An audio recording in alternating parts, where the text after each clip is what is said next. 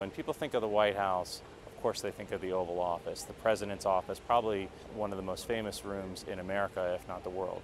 And then there's the briefing room where uh, the press secretary has his daily session with reporters. People don't really think about the East Room that way. It's, it's used so often for so many purposes um, that it can kind of be taken for granted and, and overlooked. We're talking about 60 times so far already in at least the first six months of Barack Obama's presidency, so that breaks down to roughly uh, at least a couple times a week that the press corps is ushered in and out of there for any number of events. There are all kinds of events that stand out. Probably the one that comes to mind first is the last primetime press conference.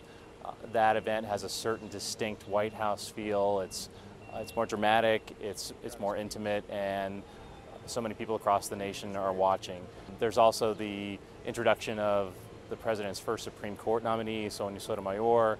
She came out with the president and vice president. She had her family there. And the Obamas have used this for poetry slams, for children's concerts, uh, for professional concerts. Stevie Wonder was honored here. Just as the Obamas rely on this as their all purpose room, basically every other president has since the White House was created over two centuries ago. From the time of uh, Abraham Lincoln's, some of his famous events was held here, and, and when uh, he was assassinated, his body uh, was, was in state here.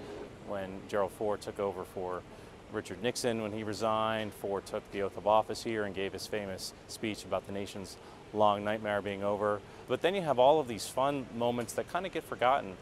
Jimmy Carter's daughter was a, was a roller skater and she liked to use this as a rec room. Presidents themselves have, have thrown birthday parties themselves here. One time uh, there's a famous picture of Frank Sinatra dancing with Nancy Reagan and, and the president cutting in. So it doesn't have the same uh, cachet as, as other rooms, but it's still a fun place to be depending upon the day. And when you look at all the events together, it probably deserves more attention than it gets.